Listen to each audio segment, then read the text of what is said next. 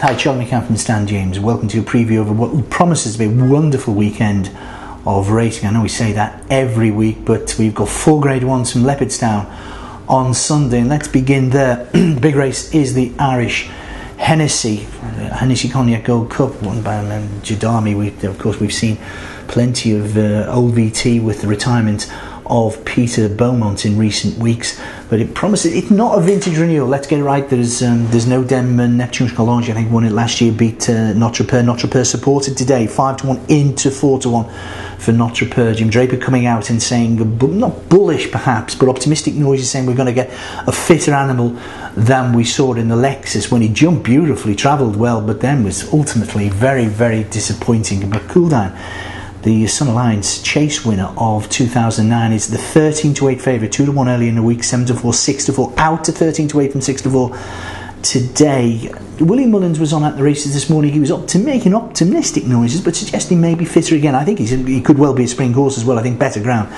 suits Cooldown. I think this horse is vulnerable. Um, at the price. I think two, two, around two to one. I think that would be the price, and it wouldn't surprise me if he goes off. That said, the 11th of all second favourite, Joncol can't have that. He's a short runner he, to me, does not quite get home over three miles. He travelled like the best horse in the Lexus, but was run out of it by both What a Friend and also by Money Trix. And Money Trix, of course, makes the uh, makes the trip across again for Nicky Richards. Nicky Richards was quite open. He said this horse will go where Denman doesn't. He needs soft ground as well. He's a seven to two shot, and then Notre Pere. Notre Pere four lengths beaten in this uh, race uh, four lengths last year by Neptune Collonges. Arguably, you don't meet anything quite of that standard. And those noises from Dreaper, if I was swaying towards one, it would be not a beautiful jumper of fence. Remember, he fell on his seasonal reappearance at Down Royal.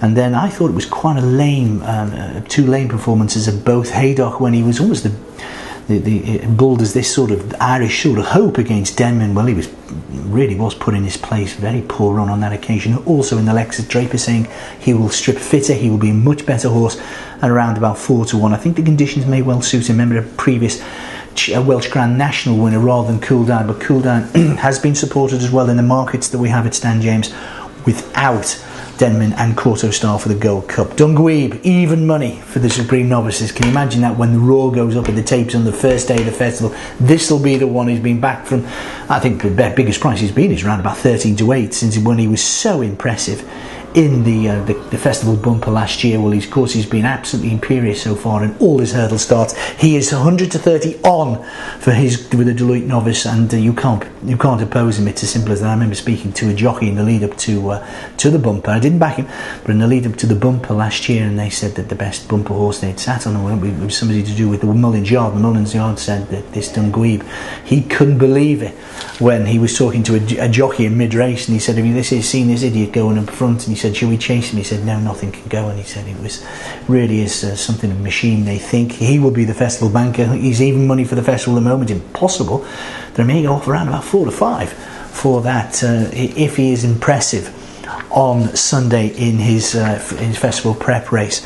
The uh, Dr. Moriarty, Dr. PJ Moriarty, fascinating race this. We've got Weapons Amnesty 5 to 2, Quarter Tartle given a wonderful ride by Russell last time, beaten by Pandorama. Pandorama probably looked a better horse than Weapons Amnesty, of course, who won the Albert Bartlett over Timber at last year's festival, taking he didn't seem to really take to fences initially, but was impressive at Newcastle on his penultimate start and then was second and he lost nothing in defeat. But we got Roberto Goldback won over course and distance grade one last time. I just don't think his form stacks up. And of course, then we got Zorito is 7 to 2. It looks a three way go between the three. He fell too early to say how he's going. That was in the Irish Arkle last time, but that it really is a fascinating. Just quick quick some of the stars we will see in Britain over the weekend as well. With Punchestowns and Long Run both, uh, Punchestowns doubly engaged. Probably go to the Towton Wetherby, also in the Scilly Isles, the old Scilly Isles at Sandown. But Long Run's also in that. Fascinating to see uh, these horses. We've got some. Uh, Kalahari King as well, top weight for the Blue Square Handicap Chase. Love these two mile ch- uh, chases. If you miss one out, you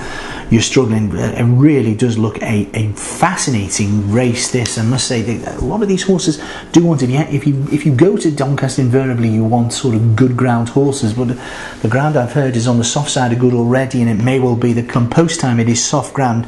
We've got Free World as 92 favourite, 15. We've got the declarations in. This is the this one Nicholls and Ruby Walsh insist is capable of better better. Well, I think he's got to show better form to win this. Oiseau de Nuit 8 to 1, I can't have that. I'm singing the blues, Simile 8 to 1, can't have that. Leo's Lucky Star lurking down the bottom for, for the pipe yard. I think that's got a, very, very serious champ. Kalahari King also at 8 to 1. Pepsi Rock disappointed me on his seasonal appearance for Henderson. Andrew Tinkler takes the ride, both uh, McCoy and Geraghty going elsewhere. But that is a one of any number of fascinating horse races we've got. We've got so hopefully, fingers crossed, we've got Sandown, Wetherby, and also Sandown, Wetherby, and Doncaster on Saturday in Britain. But the big race, big race in the weekend, arguably, we want something to come out of the woodwork to have it threat to Team Nicholls. We've got Kauto Star, we've got the Great Denman. Is it just going to be a match?